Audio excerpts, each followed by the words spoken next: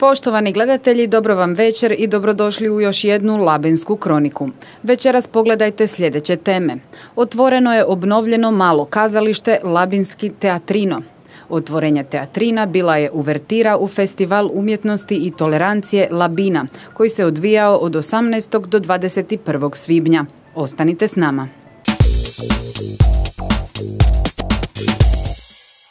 U Labinu je prošlog tjedna svečano otvoreno obnovljeno malo kazalište Teatrino, u čiju su obnovu grad Labin i Talijanska unija uložili oko 3 milijuna kuna.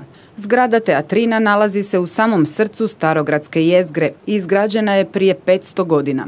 Obnova kazališta koja se zbog korone malo odužila predstavlja dodatni zamah u revitalizaciji Starogradske jezgre, poručio je gradonačelnik Valter Glavičić i sve to je bilo vrlo, vrlo složeno i zbog konzervatora, zbog e, složenih restauratorskih radova i sve je to trajalo puno, puno, puno duže i naravno koštalo puno, puno više. Ali nismo, nismo laškali, kako mi kažemo Labinu, bili smo uporni. Kad smo to nekako dovršili, onda smo zaključili da je malo pod loš, pa smo morali cijeli pod obnavljati i onda smo pogledali našu pozornicu, daske koje živo znače samo što nisu pukle. Onda smo išli obnavljati pozornicu, pa na kraju okvire koji su isto u onom umjetničkom klasicističkom stilu i sve to skupa je trajalo, trajalo, trajalo i kad smo odlučili otvoriti teatrino, znate koji je bio datum? Dan prije nego što je došla pandemija u Hrvatskoj. I taman kad smo trebali otvoriti, morali smo sve zatvoriti, cijeli grad i prošle dvije godine, dvije godine čekamo, čekamo, čekamo. I kao što uvijek kažem u životu nema slučajnosti, toliko smo čekali i po tom putu čekanja sreli smo neke dobre ljude sasvim ovako na lokaciji na kojoj nisam ni planirao biti taj dan. I od jedne rekonstrukcije kazališta napravili smo kazališni festival sa ljudima koji ne žive u Labinu, ali koji su vrlo dobro prepoznali ovu našu labinsku priču i našu autentičnost i našu izvornost. Obnova teatrina velik je događaj za sve Labinjane, posebno za tamošnju zajednicu Talijana. Za našu zajednicu sretno ponovno otvaranje malog kazališta ima posebno značenje jer se dešava u prigodi 75. obljetnice njezina osnivanja, zapravo tadašnjeg talijanskog kulturnog kluba, premda ne treba zaboraviti da je već 1945.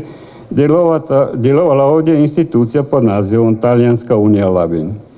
Malo kazalište, teatrino je mali, dragoceni dragulj, ponos grada Labina i cjelokupnog stanovništva. To je mjesto kulture, suživota, međukulturalnog dijaloga, pjevanje i glazbe, dramaturškog prikaza života i njegove katarze, društvenosti, ponovni susreta i zajedništva u skladu i radosti. Marin Korva iz Talijanske unije iznio je brojke i kronologiju ulaganja u obnovu teatrina. 2017. kao što je rekao gradonačelnik, počeli smo ovu investiciju sa gradom uloživši skoro pola milijuna kuna u obnovu krova i u obnovu stropa. Nakon toga je slijedio pod gdje se uložilo preko 100 tisuća kuna. Nakon toga smo uložili sredstva u obnovu svih prozora i e, sanitetskih čorova gdje je uloženo preko 200 tisuća kuna. Zadnja investicija Talijanske unije E, je bila u tehnici u sve onome što je potrebno za funkcioniranje jednog kazališta, gdje smo investirali preko 300 tisuća kuna. U ime Županije prisutnima se obratila zamjenica Župana Jessica Akvavita. Umjetnost od uvijek gleda na svijet drugim očima. Očima inkluzije, očima tolerancije. Dakle, umjetnost jeste sinonim tolerancije. Ako, ako mislimo o kazalištu, u kazalištu nema mjesta za predrasude. Kazalište je mjesto za razumijevanje, za prihvaćanje. On nas o tome uči i te su vrijednosti, vrijednosti koje nas čine u konačnici boljim ljudima. Nakon otvorenja, glumica talijanske drame HNK Ivana Plemenitog Zajca Rijeka izvela je monodramu Bonsai ima kratke grančice. metodi, scusate, per avviare i punti per la lavorazione a maglia. Questo qua che vi mostro io è molto molto semplice, io l'ho sempre usato e mi sono sempre trovata bene. Come prima cosa utilizzeremo un solo ferro. Baš sam sretna jer kako je krenulo, evo da smo otvorili sezonu u Zajcu, to je bilo peti mjesec 2020. Neočekivano, totalno, to je kao predstava je rođena u dnevni boravak, ovako kao zajbancija i onda je postalo ozbiljno i sad nakon dvije godine otvoriti tu sezonu, meni je, evo, punilo mi se srce, baš sam sretna. U nastavku je u glazbenom sessionu nastupilo 28 učitelja umjetničke škole Matka Brajše Rašana.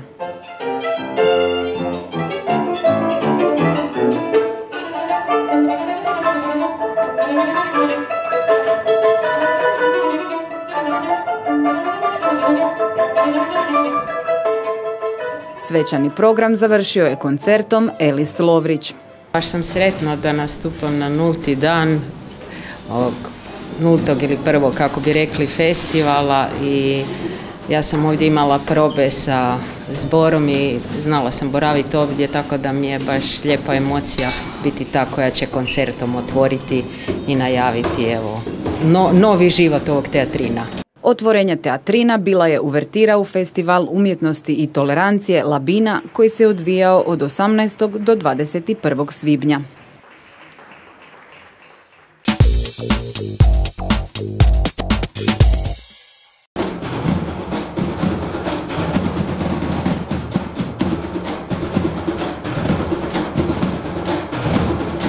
Mladi udaraljkaši Bum Bam ansambla iz umjetničke škole Matka Brajše Rašana Labin glasno su na Torjonu nagovijestili početak prvog međunarodnog festivala umjetnosti i tolerancije Labina. Uslijedilo je svečano otvorenje.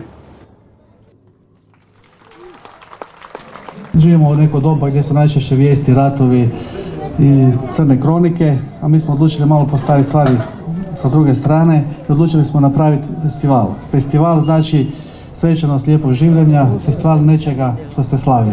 Mi smo odlučili slaviti umjetnost. Slaviti umjetnost i slaviti toleranciju. Iz dva razloga. Kada pogledate naš labinski stari grad, našu starogradsku jezgru, jednostavno ne možete ostati hladni i ne primijetiti koliko je lijep i koliko priča svoju priču od prekrasnih palača, prekrasnih ulica, trgova, fasada, škura, pragova, stubišta, čega sve ne, i odiše jednom svojom posebnom težinom i jednom vrednošću koju mu moramo svi skupa vratiti i znati i cijeniti. Sa druge strane, živimo u Istri, u jednom kraju koji je uvijek nekako poseban, ali ne zato što je lijep, ne zato što ima predivno more, ne zato što bi svi htjeli živjeti u Istri, nego zato što ima posebne ljude. Ljude koji prihvaćaju različitost i ljude koji ne žele dijeliti, nego koji žele spajati a ovo doba u 21. stoljeću u godini rata i svih gluposti koji se dešavaju, mislim da je uputno graditi mostove, pokušati spojiti i biti primjer za spajanje. I zato smo svi skupa u tom, najmo reći, organizacijskom timu, ali u tom tim, kreativnom timu došli do ideje da bi bilo dobro da napravimo nešto gdje ćemo se svi dobro provesti i gdje ćemo svi skupa poslati jednu poruku mira, poruku tolerancije i poruku ljubavi. U ime Istarske županije okupljene je pozdravio pročelnik za kulturu i zavičajnost Vladimir Torbica. Kada bi sa hrvatskog preveli latinizam tolerancija, onda bi vam to bila jedna ovako riječ koja nije baš jako popularna. Naime, tolerancija se hrvatski kaže podnositi. Ja vjerujem da podnositi nekoga nije tolerirati nekoga. Ja vjerujem da je tolerancija uživanje u drugom, uživanje u drugačijem, uživanje u svemu onome što nas okružuje. Zatim želim zahvaliti zbog toga i izbornici, ideatoru, ministrici, domaćici, gradonačelniku i svima vama lavinjanima što ste cijeloj Istri, ali i mnogo šire, podarili još jedan festival koji nam u ovim čudnim vremenima stvarno treba. I zato za kraj, budimo tolerantni, uživajmo u umjetnosti. Posebna gošća festivala bila je ministrica kulture autonomne pokrajine Vojvodina. Ono što krasi ovaj festival, svojevrstan praznik različitosti, tolerancije i onog možda najznačajnijeg dela humanosti. Na početku smo čuli da ćemo ovdje imati priliku da čujemo zapravo mnogo jezika i to je tačno, ali se samo delimično slažem sa tom tezom. Zapravo, Jezik koji ćemo čuti na ovom festivalu je univerzalan i razumemo ga svi, a to je jezik umetnosti. Za izuzetan doprinos kulturi grada Labina posebna je nagrada uručena Čedomiru Ružiću, koji je izrazio svoje zadovoljstvo ovakvim festivalom u Labinu. Prva informacija kad mi je gradonačelnik rekao da, da će se to realizirati, to je upravo bilo ostvarenje mog sna, ne samo moga, nego svih mojih i članova dramskih družina koje smo započeli još davne, 83. i koji smo sa prvom našom predstavom predstavljali cijelu regiju na festivalu kazališnih amatera Hrvatske. Znači, a školci. I tako još jednu deseta godina iznenadili, znači bilo i stroge kriterije i kritičara i povjerenstava koji su pratili naš rad nisu mogli vjerovati da iz jednog malog mjesta Labina iz jedne škole ili su se učenici zajedno sa svojim profesorom usudili da pomješaju se s njima i da nešto progovore o svojoj kulturi, da progovore o umjetnosti, da prenose naravno sve ova e, stvaralaštvo koje inače nas krasi i da kao kazalište progovore u ime mladih i da budu svojevrsni bunt, da svaka predstava ima svoju poruku i da se sa kazalištem treba mijenjati svijet. Čast da otvori festival pripala je domaćici Labine Miji Begović. Moje ime je Mija, ali ću sljedeća tri dana ponosno nositi ime Labina.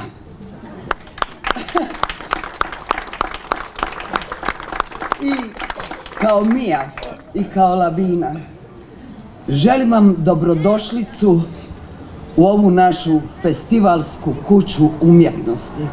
Glume, plesa, riječi pokreta, kuću dobrih ljudi i dobrih namjera kuću kreativnosti i tolerancije. Pripala mi je izuzetna čast da ovaj jedinstveni festival na svijetu spoj humanizma i humanosti otvori. Dakle, proglašavam prvi međunarodni festival Labina otvorenim!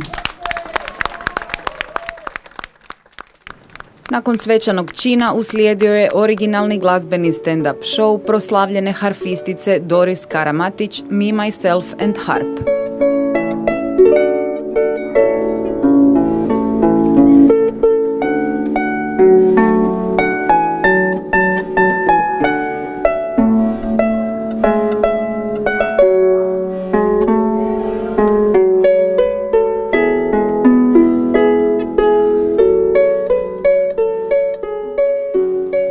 Sve izvedbe cijelog festivala bio je potpuno besplatan. Važno je spomenuti i humanu notu labine. Na svakoj festivalskoj lokaciji u vrijeme nastupa nalazila se kutija za dobrovoljne priloge posjetitelja za nabavku fiksnog mamografa za cijelu labinštinu. Prvog je dana brojna publika mogla pratiti i Nikolinu Komljenović koja je izvela performans tijela u zraku pod nazivom 10 godina nakon.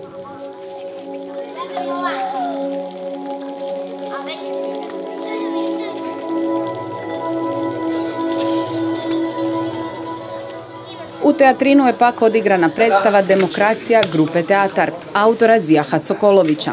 Riječ je o duhovito i kreativno ispričanoj priči o raznim oblicima uspjele, neuspjele demokracije.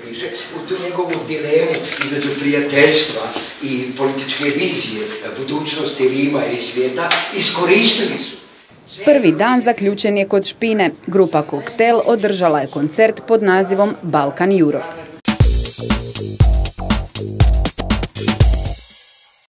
Bogat program Labine bila su naravno uključena i djeca. Tako je u petak ujutro održana likovna radionica za djecu Labinu s ljubavlju. Osnovnoškolci su izrađivali srca koja šalju svojim prijateljima u Novi Sad. Jučer smo dobili srca iz Novog Sada i postali smo skupa sa vrtičkom djecom na ulazu u Stari grad i vjerujem da je upravo učenje svih nas starijih bitno, ali učenje upravo naših najmlađih najbitnije i usaditi u njima e, međusobno razumijevanje, međusobno poštovanje od malih nogu je ključ uspjeha i mislim da ovo što se danas razmjenjuje e, je početak, a on upravo stvar vidim da se djeca iz Labina e, podruže sa svojim vršnjacima u Novom Sadu, upravo u njihovim domovima i obrnuto da djeca iz Novog Sada dođe ovdje u Labinu Istru kod svojih vršnjaka u njihove domove. Znači da zbližimo obitelji i mislim da je to taj put koji je put koji će e, sigurno oduševiti jedne i druge i napravit će onu, onu sinergiju koja je 2 plus 2 puno više od 4. Akciju je pohvalila i ministrica kulture autonomne pokrajine Vojvodina. Suštinski deo svake ovakve festivalske manifestacije jeste da povezujemo decu, naravno iz različitih krajeva, e, da ih upućujemo jedni na druge, e, da zapravo ih učimo od malih nogu šta znači tolerancija, šta znači jedinstvo, šta znači ljubav e, jedni prema drugima, da ukazujemo da pokazujemo tu ljudskost pre svega i to su one prave vrednosti koje moramo da negujemo, a zapravo da ostavljamo generacijama koje dolaze. I ovo je možda i najbolji primer za to, e, zapravo razmenjujući čestitke deci iz Labina, deci u Novom Sadu i šaljući im tople pozdrave putem srca i medenjaka, to je ono što, što čini slatkoću našeg života, a zapravo za naše najmlađe i najslađe jeste zaista možda i najlepši deo ovog festivala. Nakon likovne radionice te koncerta učenika umjetničke škole Matka Brajše Rašana, službeni prijem za goste iz Vojvodine održan je u prostorijama grada Labina. Ministrica kulture, odnosno pokrajinska tajnica za kulturu, javno informiranje i odnose s vjerskim zajednicama autonomne pokrajine Vojvodine, Dragana Milošević, zahvalila je gradonačelniku na gostoprimstvu i podršci koju je Labin pružio domaćinstvom festivala Labina, a koji će biti okidač daljnjem i još jačem razvoju odnosa te novih zajedničkih projekata. Dogovoren je i skorašnji radni sastanak koji će okupiti čelnike više sredina te na kojem će se raspraviti donošenje dokumenta o zajedničkoj suradnji i pokretanju novih projekata sličnih Labini.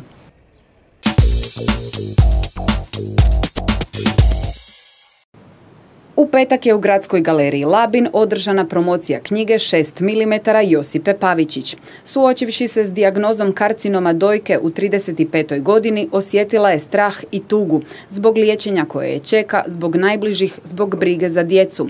A zatim je odlučila da će slušati svoje tijelo i voljeti sebe, a karcinom prihvatiti kao dar. Bio je to prvi od šest koraka prema izliječenju koje je autorica opisala u svojoj knjizi 6 mm. Čovjek može iz najveće muke, iz najveće boli, iz najveće tragedije izvući puno dobroga. Ako odluči raditi na sebi i mijenjati ono što ga vuče prema dolje. Tako da evo, moji životni prioriteti su se promijenili kad je bolest došla na moj životni put i ja sam neminovno morala nešto učiniti. Ili sam mogla odabrati otići pod zemlju ili se moglo odabrati i zavoljiti sebe i ovo malo vremena koliko još imam ovdje živjeti što se kaže ovdje kod nas puno uključeno. Evo ja sam to da volim život i znam da život volim. Istog je dana u teatrinu odigrana monodrama Sve što sam prešutjela Mije Begović. Pričajući o svojoj prošlosti i svojem životu, Mija se dotiče svih aktualnosti koje muče svakoga od nas, a publika se može poistovjetiti s glavnom junakinjom u mnogim aspektima. Riječ je o istinski zrelom glumačkom ostvarenju ove sjajne glumice. Ona je otkrila kako je bilo izvoditi predstavu u novo obnovljenom kazalištu. Pa ovo je koji iz bajke. Svaka glumica pogotovo kad igraš monodramu, e, kad sanjaš na nekom prostoru, onda se to dogodila ta ljubav sa teatrinom i sa tom publikom divnom u Labinu. I e, došli su i ljudi, ne samo normalno iz Labina, došli su od svuda i to je velika odgovornost i velika, velika sreća i hvala na divnom prijemu. Publici jednostavno sam osjećala taj mir e, i disanje između publike i gore scene i hvala Subota, posljednji dan festivala, otvorena je okruglim stolom Art is the Power of Tolerance u Gradskoj galeriji Labin. Eminentni ljudi iz svih sfera društva i ljudi s velikim iskustvom uveličali su festival umjetnosti i tolerancije. Tolerancija i umjetnost to je da u sadašnje vrijeme dok se održava ovaj festival Tolerancija i umjetnost, da građani ovog područja gdje je festival Tolerancija i umjetnost dođu i konzumiraju umjetnost. To je tolerancija. Regije koje su poznate po toleranciji u stvari u ovim našim netolerantnim predelima, gde i oni koji su najbliži e, na svaki način postaju netolerantni ili možda baš zbog toga toliko bliski, ne bi trebalo da sarađuju. Međutim, regije kao što su Istra i Vojvodina, koji imaju znači istorijsku, praktičnu, e, ličnu, e, ličnu potvrdu tolerancije, bez obzira na netolerantne ekskurse koji uvijek postoje, jer su izgleda Bogom dane da sarađuju i možda da pokrenu ovaj, mi živimo u postjugoslovenskim prostorima, znači u postjugoslovenskim zemljama koje su se i podelile i otišle na razne strane zbog e, netolerancije, možda je ovo neki primer e, nove tolerancije, nove ideje, sinhrone 21. veku naravno, gde svako svoj na svome, ali, ali ne može bez onog drugog. Onaj drugi je važan i upravo to ko smo mi, da li možemo biti tolerantni i sami u sebi i unutar sebe, ali i međusobno. Ja mislim da je ovo daleko najtolerantniji dio Hrvatske. Velika većina nas, ima nas puno, smo došli ovdje živjeti, ne živjeti dio godine, ne samo ljetovati, nego baš. Zato je li ovo kraj u kome nema te nelagode, različitosti, koje hrvatska politika tako uspješno njeguje u ostalim krajevima Hrvatske. Pa kad pričamo o Istri, naravno trebamo malo pogledati unatrag. I jasno je dakle da Istra je proživljavala teške godine, da ne kažem stoljeća, siromašne, naporne, mučne godine, desetljeća. I mi smo shvatili ovoga kako tolerancija znači napredak. Mi smo shvatili kako želimo biti dio modernog društva, otvorene, tolerantne, moderne Europe, gdje nije važno tko je kakve vjeroispovijesti, seksualnog opredjeljenja, vjeroispovijesti, tko je, dakle, udakle došao, to nas ne zanima, ali nas zanima kakav se čovjek. Zanima nas, dakle, upravo ono kako se ti ponašaš na ovom području gdje kao i ja živiš i radiš. Tema snage tolerancije nešto je što je prijeko potrebno naglašavati i poticati u današnje vrijeme. Upravo stoga promocija umjetnosti i tolerancije kroz Labinu i Labin neka bude poticaj svima da ovim temama progovaraju i djeluju još i više, kazali su sudionici okruglog stola. Publiku Labine posljednjeg dana oduševila je odlična izvedba Živka Anočića, Marka Makovičića i Domagoja Ivankovića u predstavi Šekspir na Exit, teatra Exit. Predstava je odigrana u teatrinu, a u njoj je na jednom mjestu prikazan Šekspirov opus, koristeći lik i dijelo velikog barda, bujicu njegovih dramskih karaktera i radnji kao materijal i mjesto polaska iz kojeg se izmišlja glumačka igra.